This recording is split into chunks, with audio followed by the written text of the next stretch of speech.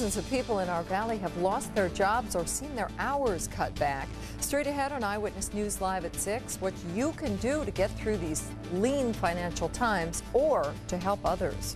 Plus, right now, one of the biggest unions in the valley is voting to give help to those in need, but not everyone agrees with the plan.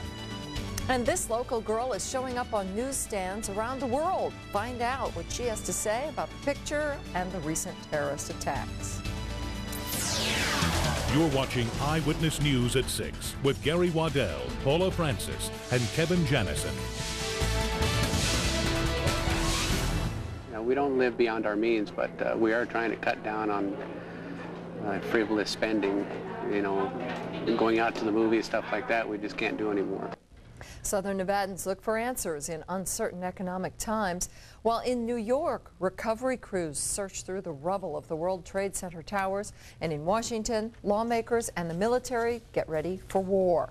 Good evening. Thanks for joining us. Gary is off tonight. The slowing economy and terrorist attacks have hurt many Las Vegas families. Now people are having to make difficult choices. More and more Valley families are having to choose between paying bills and buying food. Eyewitness News reporter Erik Levine shows how people can cope while the Valley's economic struggles continue. John Furcho used to make enough money building trade show exhibits so his wife Margie didn't have to work. But this month's economic slowdown has John only working part-time, and his wife Margie is now trying to find a job to help take care of their son and a mountain of bills. She has to go back to work because uh, with, with being cut down, you know, we just can't do it with all the bills, the, truck payment, and the house, the mortgage payment, it's pretty tough. With 15,000 layoffs in the past two weeks, many Las Vegans are finding themselves in a position they've never been before. Credit counselor Michelle Johnson says at times like this, cutting unnecessary expenses is a must, and things like mortgages and credit card debt can sometimes be delayed. Deal with the creditors. They're going to be willing to work with you. A lot of creditors have hardship programs, very short term, three to six months, that will enable you to, to meet a minimum payment. Of course, for some people, things are to the point where a simple phone call won't be enough. Attorney Barry Levinson says filing for bankruptcy can allow someone to restructure their finances, stop foreclosure, and wipe out or greatly reduce unmanageable debt. If the economy's going bad, uh, a lot of critters might not want to work with you. They may get a little tough with you. They may, you know, try to get their money, just like, uh, you know, because it's going to be tough on them too. Still, for people like John, it will be a matter of making tough choices until his income level returns. And everything from non-essential spending to credit card payments are now on hold. One that's calling because I'm late. It's like, well, do I eat or do I pay my credit card? I'm going to eat. You know, I've got to be honest. Erik Levine, Eyewitness News. If you are in need of credit or payment advice, you can contact a handful of consumer credit agencies here in the Valley. The call is free. Meanwhile, if you think you are on the verge of bankruptcy, call an attorney first. In many cases, bankruptcy can be avoided. It's estimated 10,000 of the 45,000 culinary union members have lost their jobs in the last two weeks here in Las Vegas. Lack of tourism traffic has forced hotel casino layoffs, but now the union is trying to get its members rehired. The union is taking an important vote at the Las Vegas Convention Center right now. That's where Eyewitness News reporter Cindy Cesare joins us. Hi, Cindy. Hi. You know, the second vote of the day is just getting underway now, and thousands of union members have been filing inside the convention center in the last 15 minutes or so. The union members are voting on a proposal that will allow workers that are, are still working right now to shorten their hours in order to rehire those who have been laid off. Make sure you get a nice golden brown on there, huh? The hot spot wasn't in the kitchen for culinary union members today. They were at the convention center voting on whether current working members should cut their schedules from five shifts of six hours a day or work four shifts of eight hours a day. Shrimp coming up. Nearly one-fourth of the 45,000 culinary union members have been laid off in the last two weeks. And working members are hoping that by reducing their hours, it will protect their jobs and be able to hire back those who were laid off.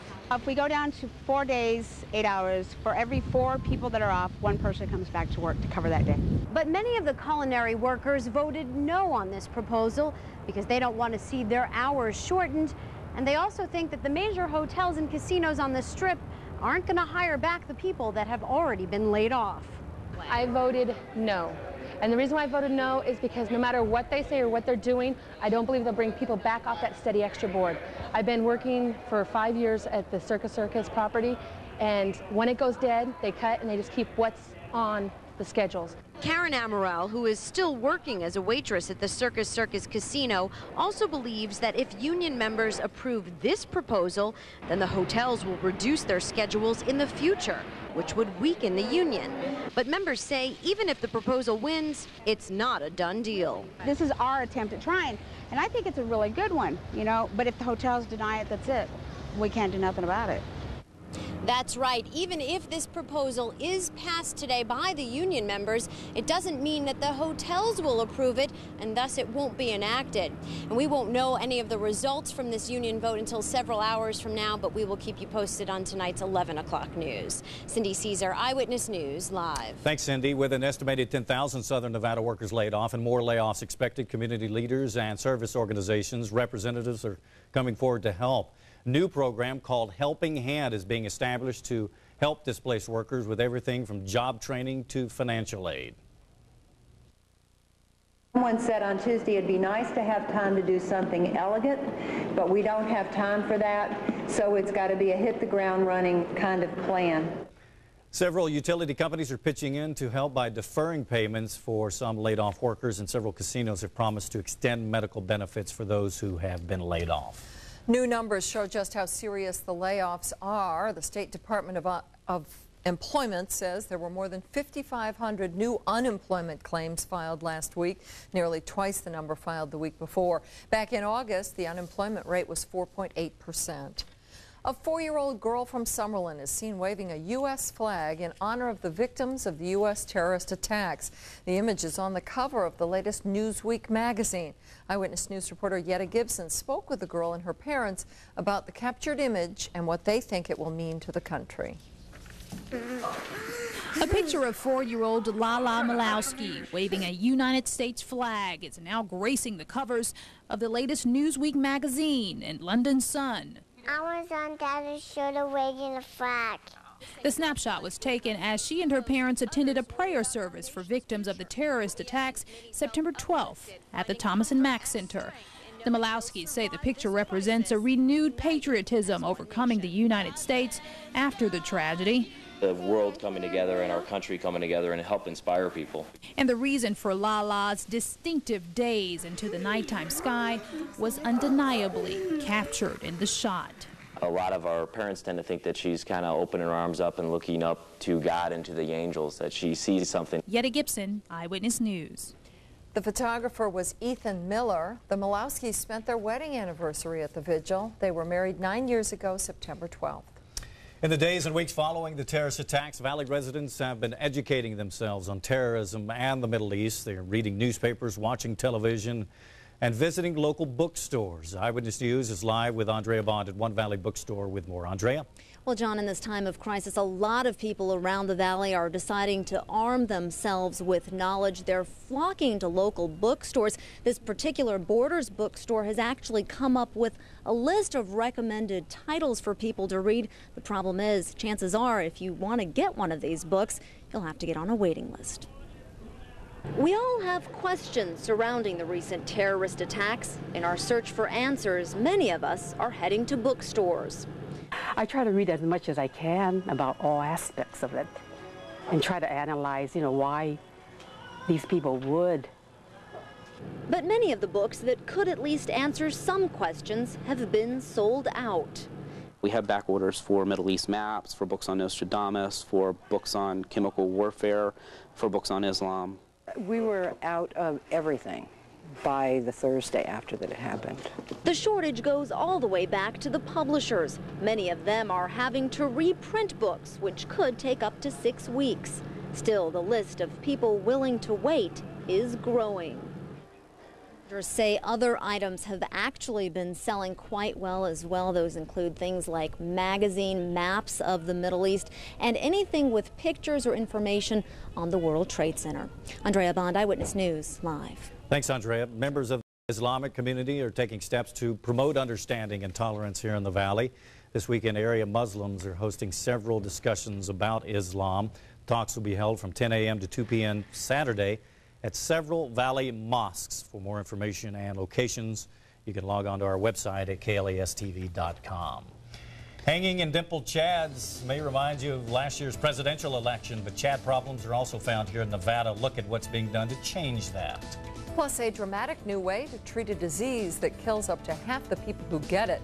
See how doctors are changing the odds for millions in tonight's medical breakthroughs. But first, Kevin Janison is here with a first look at our weather. Hey, Kevin. John and Paul looking good as we get into Friday evening. We'll keep the warm weather throughout much of the weekend and let you know what the latest is as far as Hurricane Juliet is concerned. Also, all of your neighborhood weather, that and the seven day forecast coming up in just a couple of minutes. Eyewitness News will be right back. You're watching Eyewitness News with Paula Francis and Gary Waddell. This portion of Eyewitness News is brought to you by General Motors.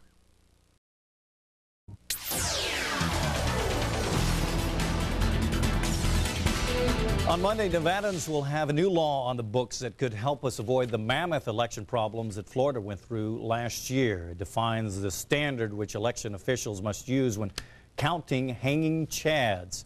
Eyewitness News reporter Michael Geeser has the story. Nevadans who choose to vote absentee won't have to worry about how their chads will be counted. The state now has a new law explaining what's a vote and what isn't. Simply put, no light means no vote. Uh, just be sure that after you've made that attempt to punch a chad out, you check it. A, good way to do it is after you've made all your selections, hold a card up yourself like you saw him do it in Florida. For the most part, the new hanging Chad laws are a non-issue since most voters use these electronic voting machines. But in the last election, 62,000 people asked for the absentee ballot, 50,000 of which used them. Those voters now have a law that defines how their ballot should be read, a law Florida residents could have used last year. Michael Geeser, Eyewitness News. The new ballot counting law is one of 125 new state laws that go into effect on Monday. Late this afternoon, attorneys for the Aladdin Resort filed for an emergency bankruptcy hearing. The Aladdin told the federal judge that the resort doesn't have the money to continue to operate. Attorneys say the company must file Chapter 11 bankruptcy. The resort says it expected to make a profit in the fall, but the terrorist attack and the dramatic drop in tourism that resulted rapidly dropped its earnings. The Bank of Nova Scotia stepped in with a loan of up to $50 million to keep the resort running. The Aladdin will borrow $9 million immediately so it can operate for the next month and a half. This weekend, you can enjoy a series of award-winning international films right here in Las Vegas. The Blue Sky International Film Festival has brought 28 films from 10 different countries to Las Vegas. Some are full-length movies, others are shorts. Each of the films is an award winner. You would have to go to like Sundance or Toronto or the Berlin Film Festival to see these films. These films have been on the festival circuit uh, for about a year now. And it's the best award-winning films on the festival circuit. The films are playing through Sunday at the Regal Village Square Cinemas at West Sahara and Fort Apache. You can get passes for the entire festival for a single day or a single movie. Also this weekend, hundreds of people will be celebrating a tradition that dates back to the 1800s by eating bratwurst and drinking lots of beer. Oktoberfest kicks off tonight at Gordon Biersch Brewery on Paradise Road at Flamingo. The event will be held under a massive tent in the restaurant parking lot. The two-day event is the largest freestanding restaurant event in the city.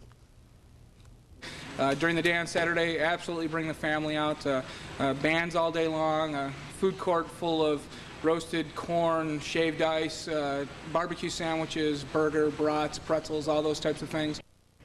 There will also be an arts and crafts fair and live music. Admission is free. The third annual Oktoberfest kicked off at 6 p.m. and it'll be going on until midnight and then it continues on Saturday from noon to midnight. I'm not sure we mentioned they brew their own beer. Yeah. Does it really feel like October? No. Well, it's not October just yet, but I don't think that will stop the consumption of beverages. No, a lot going on this weekend. And, and if you had to decide where Paula would be this weekend, whether it's having the brats and beer or watching the foreign movies, where do you think? Could be both. dangerous, dangerous there. But I'm actually a big bratwurst fan Yeah, with oh, my yeah. Wisconsin heritage. I know, I think we've got videotape actually. Oh, sure. From many moons Let's ago. move on. Okay, let's do that. we'll have more details on the weekend plans later in this newscast. But first, let's take you to South Florida where more rain fell today. They've been having a tough time. It's been one storm developing after another on a stalled front in south parts of the state. The Sunshine State that it's usually known for is just getting dumped on. Some areas of South Florida could wind up with eight inches of rain before this system moves out. And right now, it's not moving. Here at home, real-time neighborhood weather. We'll start near Eastern and the St. Rose Parkway, 93 degrees and 14 percent. A little bit of a breeze over the south end of town. Elsewhere, we'll go to the southwest near DI and uh, uh, the, the Beltway, where it's 89 degrees. We'll venture out to Pahrump, our weather station there at the Willow Creek Golf Course. They are at 87, and near Sahara and Nellis, east side of the valley, 95 degrees right now. It's 97 near Flamingo and Boulder Highway, 92 up near Camino El Dorado and Ann Road, and also 92 near Jones and Tropicana. 61 on the mountain, 80, well, we just said we're dip down into the 80s in Pahrump. Boulder City's at 91. Laughlin still at an even 100. A little breezy at times today, mainly along the edges. Had a gust of wind of 31 over the south part of town, 29 up near Buffalo and Cheyenne. Outside the valley, the strongest gust was in Searchlight, that one to 39 miles per hour. High temperatures today, 71 on the mountain, 92 at Red Rock, 112 in Death Valley. And here in town, the east side of town made it as hot as 106 and 105, but moving west across the valley, most neighborhoods having highs in the mid to upper 90s. At McCarran, the top temperature was 99, 9 above normal, but 4 off the record that's been standing since 1978. And inside the car this afternoon, the carmometer 128 degrees. It's still piping hot inside the car with it parked out on the blacktop. Here's Juliet, no longer a hurricane.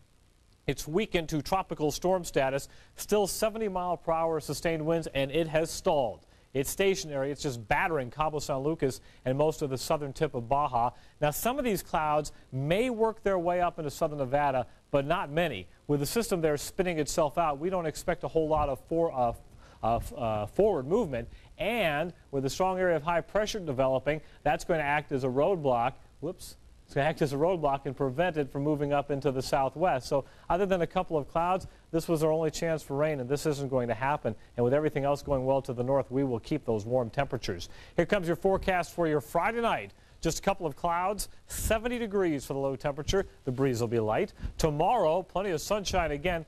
Mostly so. We could get a couple of high clouds thrown in there. 96, the expected high temperature. Again, some neighborhoods will be up around 100. And here's your seven-day extended forecast. It's not much of a cool down. It's a slow process. Early next week, we'll get a few more clouds, but we'll keep those temperatures generally in the low to mid 90s at least, with overnight lows dipping down into the 60s. A very warm start to October, which begins on Monday. So it'll be uh, an Oktoberfest with the weather as well. All right. Thanks, Kevin. Sure.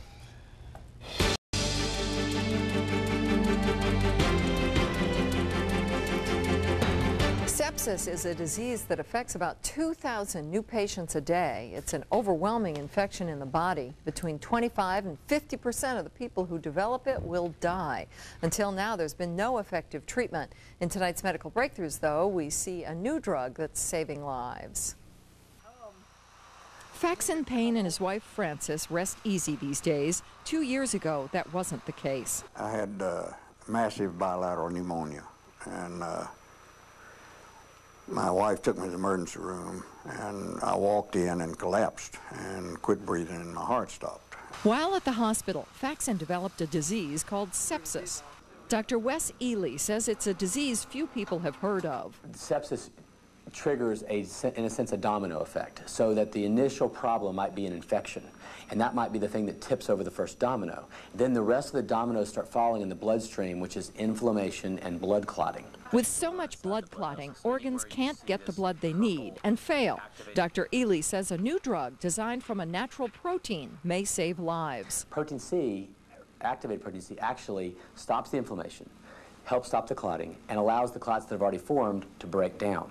In a study of more than 1,600 patients, the drug reduced risk of mortality by 20 percent. It could save upwards of, are you ready for this? 200 plus lives a day in the U.S. alone. Today, Faxon and Dr. Ely have developed a special bond. I owe my life to them. I feel mighty good. it's nice to be recovered. It, is, it does my heart so much good to see him alive, talking, happy. The drug, which will be marketed as Xigris, is still in clinical trial. Currently, to receive the drug, a patient must be treated at a center that's participating. Nearly 150 centers around the country are testing the drug. If you'd like more information about that, send us a self-addressed stamped envelope and write sepsis breakthrough on the front of the envelope that's addressed to us. You can also find information on our website. Neurologists are hoping the cases of seven young people infected with HIV could help in the fight against Lou Gehrig's disease. Researchers found the symptoms of Lou Gehrig's decreased or disappeared in the seven patients after taking a drug designed to suppress the HIV infection. Doctors have long debated whether the nerve disease known as ALS or Lou Gehrig's is caused by a viral infection. And that's tonight's medical breakthroughs. All right, thanks, Paula. Chris is here with sports and a big football weekend for the Rebels. Oh, it's a big one big. BYU in town, it's always going to be big. Less than 24 hours now before that big, big showdown. BYU is saying, hey, bring your best. We'll have more on the clash coming up.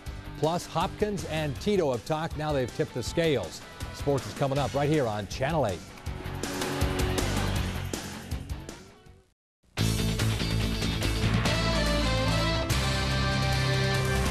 Well, it's the eve of UNLV's biggest game of the season. The Rebels trying to right the ship that is seriously taking on water. But a win over the Cougars will help the Rebels get back on course. Now, UNLV has never beaten a ranked team at Sam Boyd. The last time they beat BYU was in the 80s. We look for them to line up and they base stuff and then just, you know, line up and try to beat us basically physically and overpower us and so we got to do things that you know match well with what they're doing. If Jason Thomas plays a good football game, he was MVP in certain different areas last year, and, mm-hmm. and in the bowl game last year he's MVP. If he comes out and plays well, which which I would prefer, I'd prefer him come out and play a good game. If we're going to beat UNLV, I want to beat them at their best. Well, so far, nobody has seen UNLV at its best. At 0-3, they're still searching for some offense. Well, for the first time in this series, LaVell Edwards will not be on the sideline when his former team meets the Rebels coming up in 25 minutes. Dave McCann visited with the former BYU head coach, who's now dissecting golf courses and not opponents. Well, from the back alleys of America to the big stage, ultimate fighting is back on a grand scale. Nevada has sanctioned this sport that features elements of wrestling, kickboxing, fighting, jiu-jitsu. There are rules, and now there are names. Here's some of the nicknames from tonight's fighters. The Huntington Beach Bad Boy, the Janitor, Little Evil, Superman, the Iceman, Terror, Wolf, and the Dominator. Highlights as they are tonight at 11 o'clock. Fighting on a different stage, champions Felix Trinidad, Bernard Hopkins are now ready for Saturday's unification title fight. And now, ladies and gentlemen, Felix Tito Trinidad, 158 and one half pounds. 157 pounds for Bernard Hopkins. Tomorrow's fight will decide the middleweight champion of the world.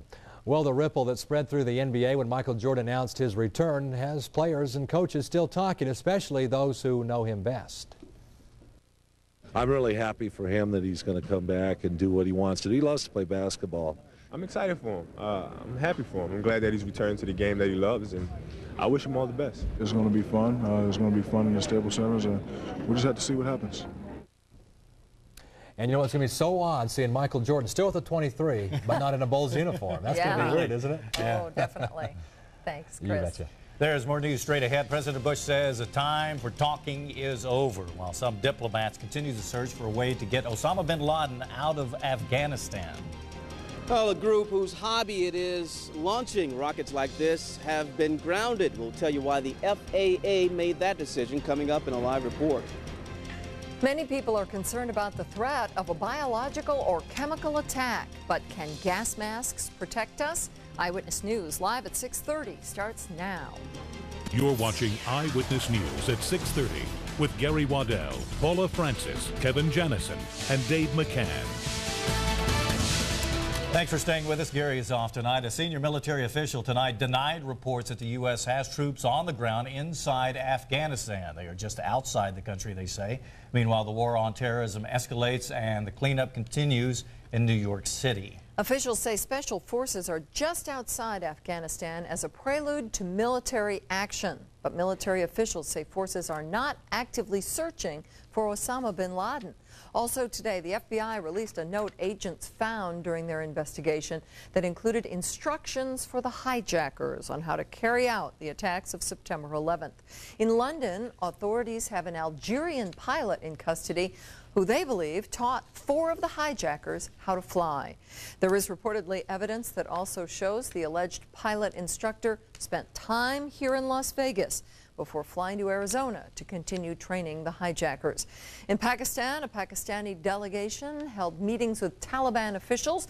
The leaders are trying to persuade the Taliban to turn over the prime suspect in this month's attack, Osama bin Laden. Reportedly, no progress came of the meeting. President Bush says the time for talking has ended. There's no negotiations with the Taliban. They heard what I said. And now that they, they can act. President Bush says the United States is in hot pursuit of terrorists behind the September 11th attacks. The exhausting cleanup process continues in New York City, but with some disappointing news today from Mayor Rudy Giuliani. Mayor Giuliani says it could take a year before the entire area near the World Trade Center is cleaned up.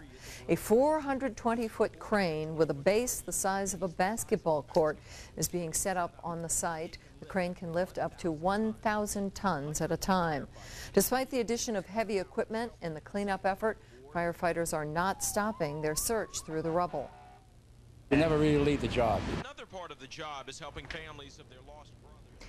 Besides picking through rubble and working to put out fires, New York City firefighters are also attending several funerals and memorial services for their fallen brothers. The attack on America is affecting this country in many ways. It has even put a halt to one local group's hobby of launching high-powered rockets. Eyewitness News is live with Tom Jones near Desert Inn and Swenson with more on this. Tom? Well, John, this is one of the rockets that members of the group would, would launch. They have some that are much, much larger than this. You'll see that in a second. Well, the Federal Aviation Administration has decided that these are now a security risk, so they grounded the group. It's an unusual hobby, to say the least. John Preto is a member of a group whose hobby is launching high-powered rockets. They usually set them off at El Dorado Dry Lake outside of Boulder City, and they launch them with the Federal Aviation Administration's approval. That is until the September 11th attack on America. All of the rocket launches have been canceled since the tragedy. The FAA grounded the rocket launches, citing security concerns, especially with the rockets flying high enough to hit a plane. Preto understands the agency's position, but he says his group has never had a problem or an accident. Well, we're pretty much out of business. We had a big launch going on this weekend up in uh, northern Nevada, in which we had some very high-powered rockets going up 70,000 feet. Now, Preto is a certified rocket launcher, and he says his hobby is perfectly legal. He says he hates that terrorists have put a halt to something that he loves so much. Tom Jones, Eyewitness News, live. Thanks, Tom. Trucks carrying hazardous materials are being scrutinized in Nevada and around the country. Federal authorities believe a number of Middle Eastern men have fraudulently obtained licenses to carry hazardous materials. Nevada police are stopping truck drivers on the highways for 10 to 15 minute inspections. Licenses, photos, and registrations are being checked. Thousands of trucking companies that transport potentially dangerous materials are being affected by the nationwide dragnet. Americans are now worried about other terrorist actions against our nation. Weapons sales are up in parts of the country as some people decide to arm themselves, and gas masks are in high demand as well. Jennifer Miller has more on the rush for protection. As America's troops prepare for war, so do its citizens. At this gun shop in Indianapolis, the demand for handguns has turned to assault weapons. In Denver, gun sales at this store have shot up a thousand percent since September 11th. Most buy handguns and shotguns, but Ryan Callaghan is arming himself with an AK-47 semi-automatic assault rifle. I don't anticipate on using it, but if I need to, it's there. And across the country, gas masks are in short supply. In Denver, stores are sold out. Probably two weeks before we would get something to you. But Americans who are buying them may not be getting the protection they want. Some masks aren't equipped for biological or chemical warfare, and those that are may not be enough. Go! Go! Gas masks are traditionally worn to protect against tear gas. But for biological and chemical warfare, the military uses different masks and bodysuits. And Major Chris Petty says even these are not foolproof. I guess the bottom line, Jennifer, is personal protective equipment is a very complicated business, and uh, going to a store and buying an old military mask will not solve all your problems. The public needs to know that fast medical treatment after an attack is crucial. But Major Petty says he is convinced the probability of any attack is low.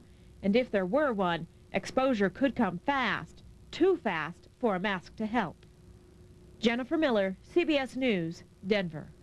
Experts say a gas mask would only be truly effective if you wore it all the time. Thousands of people in our valley have been laid off in the past two weeks, and now many people are having to make tough decisions about their money. Here's the latest on tonight's top stories as families around the valley tighten their belts. Credit counselors say the first thing people need to do is cut unnecessary expenses. Second, talk with mortgage and credit card companies about delaying payments and about the hardship programs they may have. For some people, the phone call may not be enough and they may have to file for bankruptcy. Bankruptcy filings are at the highest point in nine years. The Culinary Union held two meetings today. The union wants employed members to decide if they will go to a four-day work week to prevent more layoffs. The first vote was at noon today. There was a second one a half an hour ago.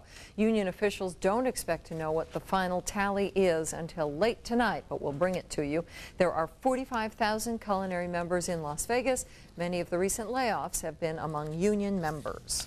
Little Las Vegas girl is on the front of the newest Newsweek magazine. Four-year-old Alana Milosky was at a candlelight vigil the night after the terrorist attacks on New York and Washington.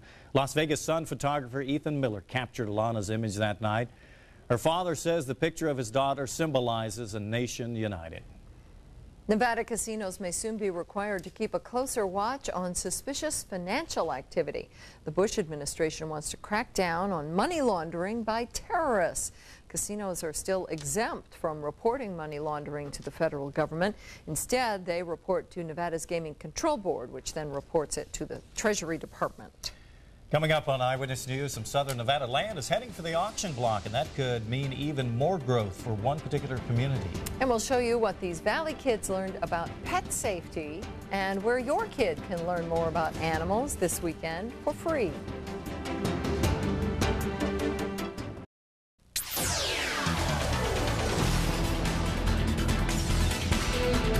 In the midst of gloomy economic news, there may be something positive for Valley residents. Southwest Gas may file a rate reduction request. The price the gas company has been paying for natural gas has gone down recently, and that means they may be able to give customers a break by lowering prices.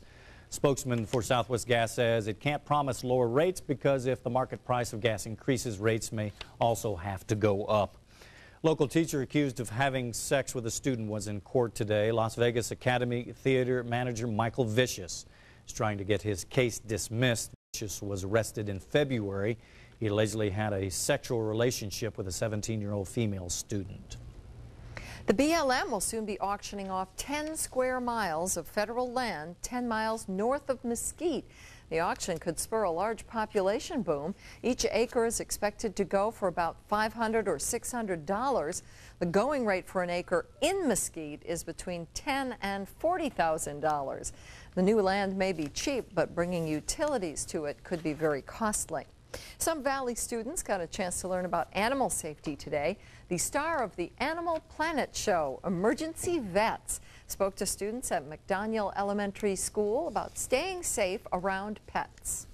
I knew that you shouldn't push away a dog if they're pulling on your pant leg because that could just um, make them mad and you should also not take the try to pet them when they're eating a treat. Today's seminar was a kickoff to the Animal Planet Rescue Expo, a free event at the Jaycee State Fair, which is being held at the Motor Speedway this weekend. Well, October is a mere weekend away. Coming up, Kevin Janison will have the outlook for the first week of October and all your neighborhood weather. And we'll introduce you to the city's new fire chief.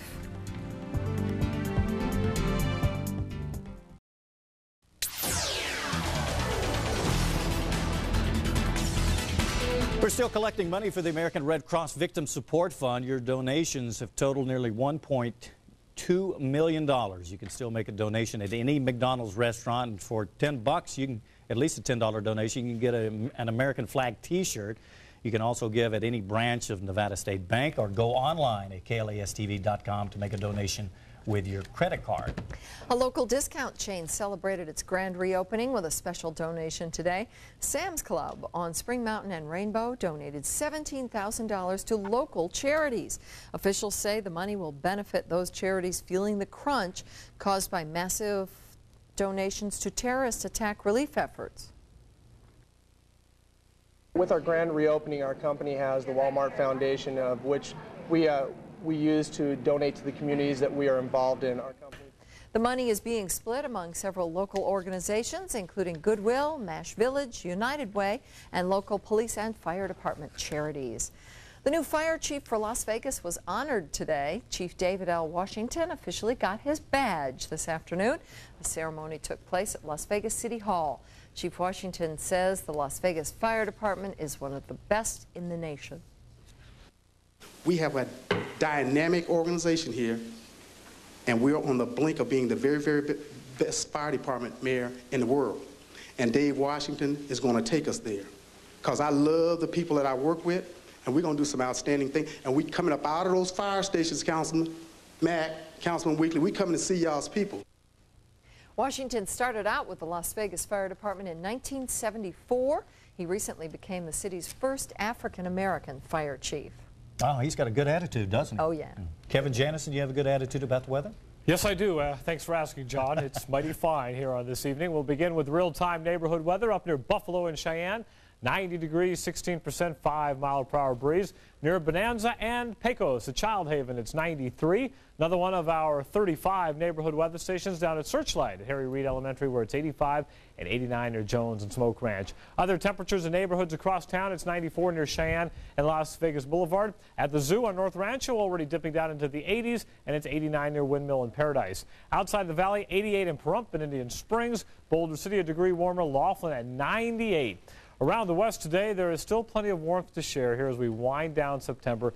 Phoenix at 107, Salt Lake City at 90, Denver 88, Reno down to 79 for their high, while downtown LA hit a high temperature of 84 degrees. And around the country, showers and thunderstorms in South Florida still causing a little trouble. Some wraparound moisture in the northeast. Most of that rain is light. We do have a front sliding through the west. Now, this particular front not really causing too much trouble, but it is breezy on both sides of it. And down here, we have tropical storm Juliette. The winds are down now to being 70 miles per hour, so below hurricane status. However, still a pretty potent storm, still dumping heavy amounts of rain on Cabo San Lucas and the southern, well, about the southern third of Baja there. It's stalled. It's stationary. It's just not moving and we don't expect any significant changes over the next couple of days. So a few of these clouds may work their way northward, but as far as the brunt of the system coming in with a lot of moisture into the southwest, uh, as we've been thinking all along, it does not look like it's going to happen. Tonight, just a couple of clouds, 70 degrees for the low temperature. Tomorrow, we'll also have a couple of clouds, but it'll still be mostly sunny. Look for a high of 96 degrees tomorrow, and again, some neighborhoods will be up around 100. Out of the lake, 102 the expected high. Under a mostly sunny sky, should be a beautiful day out there. Mount Charleston, not bad either, 75 after a morning low of 48. And here comes your seven-day extended forecast. Looking pretty good as long as you like the warmth. And if you're living in Las Vegas, you really need to like the warmth. Mid 90s as we begin October. Overnight lows will dip into the 60s as well. We might get a few more clouds next week, but otherwise, it does stay warm as we begin month number 10 of the year. Can you believe that? Going fast. Flipping huh? the calendar again. Yeah. Time is flying by. Yeah. Nice at night, though, huh? Yeah, in the early morning. Yeah. For, for about 10 minutes. Thanks, Kip. Okay. Chris Maathuis is in with sports. Very important game this weekend. They got to get a win, UNLV. I mean, they're 0-3 right here. The Rebels prepare to meet the Cougars. One familiar face is going to be missing there on the sideline. Former Cougar coach LaVell Edwards now on the outside looking in, but how far on the outside? We caught up with the coach, and that's coming up next.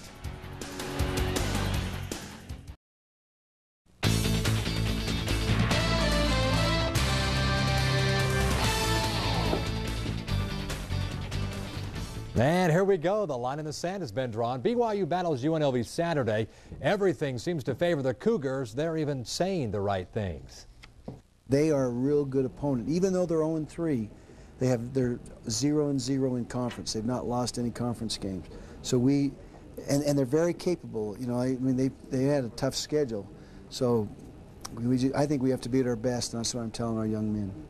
All righty, on the heels of that, for the past 29 years, former BYU coach LaVell Edwards spent Fridays in the fall preparing for Saturday's kickoffs. Well, now retired, Edwards on Friday, he's going to involve some golf in his uh, dating activities now as he gets set for that uh, big UNLV BYU game. Dave McCann caught up with the coach where he was where else but on the golf course.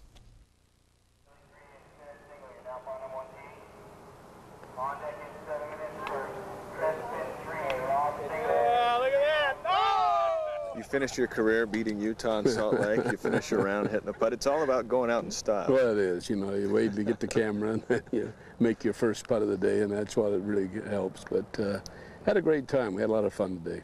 These are different day before game preparations for you. Have you a little bit adjusted just fine? I have. I I've played golf every day this week except uh, Sunday, and um, that's a little That bit different tough. than what I've had in the past. But uh, it is different, no question. You have coached every UNLV BYU game up until this one. Is there any one that sticks out? Well, I remember when they came up and beat us, you know, uh, a few years ago with, uh, who was it, Sam King, I think the quarterback was, and uh, that was one that, because we had, that was a good ball club, and I think we were, I don't know if we were undefeated at that time, but, but we were ranked pretty highly uh, and at that time, and they came up and beat us at our own uh, place. And then I remember last year when we played them, uh, you know, I just uh, uh, thought, man, you know, this is a different UNLV team than that's been playing for a while. You know, John's got this thing going well, and so those are probably the two games that stick out. When you retired, John Robinson became the elder statesman in the Mountain West Conference. Any advice for him? Yeah, go out and win some of those close ones. It helps the old uh, ulcers. And uh, You can now be an analyst. So as you look at UNLV BYU on Saturday, what do you think? it's going to be a good game. It's going to be a tough game, you know, for, for both teams. I think uh, BYU's pretty good, and uh, I think UNLV's got very good defense. And I think if they can get, uh, you know, uh, get a little bit more productivity from uh, uh, offense standpoint, then I think that you know we're going to have a good ball club. All right, thank you very much. Well, the game is real close to selling out here. All the end zone seats are gone, about 2,500 sideline seats still available, and they're selling standing room tickets for Saturday's game. It's shaping up to be the second largest crowd to ever watch a Rebel game at Sam Boyd. Don't forget that kickoff is set for 4 o'clock. Get out there early. It's going to be a big crowd. out there. Yeah, All very right. big crowd. Thanks, Chris. When we come back, at over a century old, this bridge in Michigan is still flying high.